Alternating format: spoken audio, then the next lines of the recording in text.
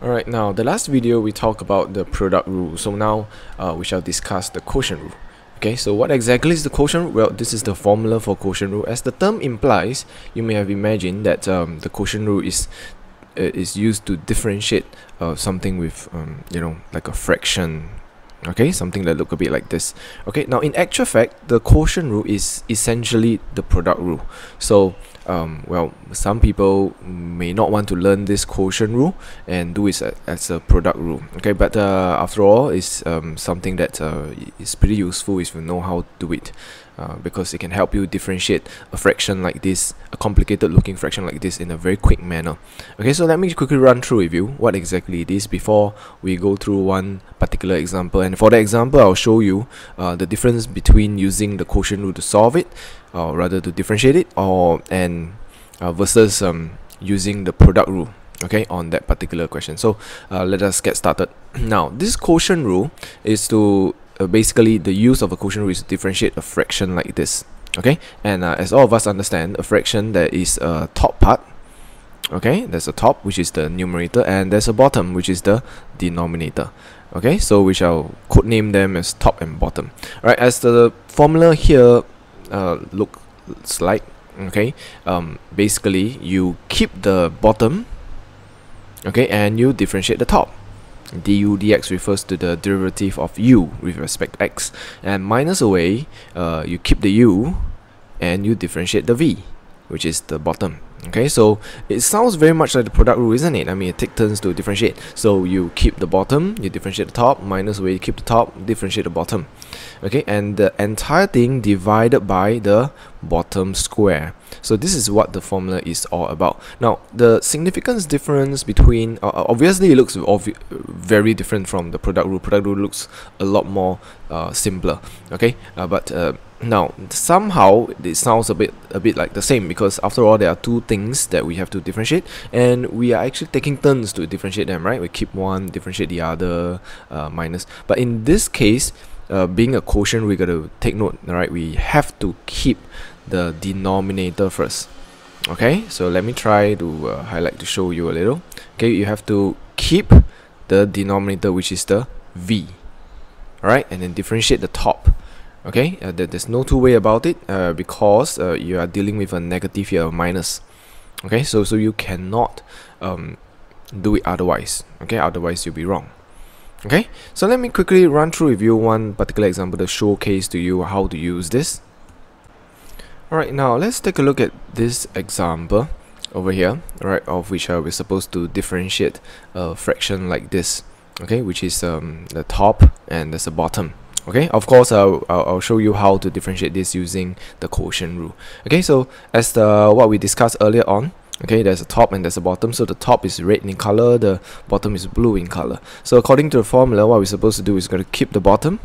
So we keep the 2x minus 1 and we're going to differentiate the top. So differentiate the 3x plus 2 uh, is a very simple thing. We simply get 3 okay and now what we're going to do now is uh, we're going to minus away. Okay and we're going to keep the top. Okay keep the top which is keep the 3x plus 2 okay and we're gonna differentiate the bottom. So when differentiate the bottom we simply get 2 okay and uh, the entire thing entire thing oops this is not very nice. Okay one more time yep. Okay the entire thing going to be divided by the differentiate of the bottom but square. Okay the square of the different uh, the square of the bottom. I'm sorry okay? So after simplifying uh, which is not that difficult to simplify so we actually end up with a 6x minus 3 minus away 6x plus no it shall be a minus 4 due to this negative over here. Okay so uh, minus 6x minus 4 over the 2x minus 1 bracket square of which we will end up with well this 2 will be cancelled away and we shall be left with negative 7 over 2x minus 1 to the power of 2 okay this is our answer okay? Uh, by doing the quotient rule. I hope sort of you know it's not that difficult after all if you know how the uh, the formula. Okay? You can actually memorize it all right uh, which you should because uh, after all uh, in exam this is what you want to do. Uh, a very quick manner and get to get the answer. Okay? Now I was saying earlier on now you can actually force your product rule to work. Okay? For this particular example. All right what am I talking about? Well let's take this example um, one step further. Okay so so to differentiate this fraction is the same as to say that we want to differentiate 3x plus 2 okay multiply by 2x minus 1 to the power of negative 1 okay? Alright and of course uh, we can apply our product rule here of which we keep the 3x plus 2 okay? And we differentiate this uh, 2x minus 1 to the power of negative 1 and uh, this one we have to apply our chain rule okay which we bring down the power our power becomes negative 2 and we have to differentiate the inside. Okay and uh, we have to plus okay we have to keep this other part now which is the 2x minus 1 to the power negative 1 and we differentiate the um, the, the the other term the first term right which will give us 3 okay so this is it now you may think that uh, hey you know um, using the product rule seems like a better idea because you know it seems to be a bit faster and got the answer. Now the trouble with this answer is that um, you, you you more often than not you will have to simplify this okay into uh, this form okay a fraction form be it whether you want to solve uh, equate it to zero or any other value later on okay. This is this isn't as friendly as you think it is okay what am i talking about? Well basically you need to understand that well when you are facing a negative power like this and like this uh, this is actually a fraction alright? And this is actually a fraction as well. So if you were to write it down as a fraction form okay it will look a bit like this. Negative 2 3x plus 2 okay? Entire thing to the power of 2x minus 1 uh, square okay right? Because because as you can see here this is the only thing that will appear at the denominator. Okay and everything else will be at the numerator.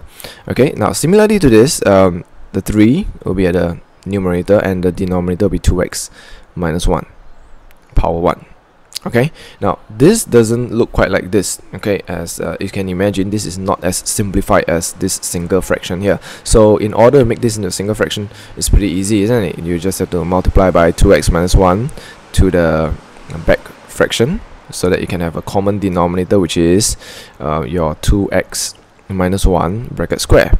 Okay and what is left at the numerator will be negative 6x which is this negative 2 multiplied by 3x and uh, minus 4 okay and this positive 6x and uh, minus 3 okay because of this 3 multiplied by this 2x and this 3 multiplied by negative 1 and of course uh, you cancel out the 6x you will be left with negative 7 over 2x minus 1 okay bracket square. Now there you go. You see we get the same answer. Okay? Now uh, some of you may think that oh if that's the case you know I don't mind doing one more step and uh, you know I don't have to remember one more formula. Okay? Now um, this is a very simple example okay I can't emphasize this enough because in actual exam or test um, chances are you won't be seeing this uh, kind of um, question often. Maybe the next example you'll get to know what I mean. Okay so in this particular example you're dealing with a whole number integer values of power be it negative. So chances are you'll be dealing with square root signs which is fractions and so on. So um, it may not be as easy for you to simplify into a single fraction if you were to force your product rule upon a question that's supposed to be test you uh, supposed to be testing you on your quotient rule okay? So uh, bottom line uh, it would be a wonderful idea if you can to memorize this formula okay? So let me repeat one more time. Keep the bottom differentiate the top minus away keep the top differentiate the bottom divided by the bottom square okay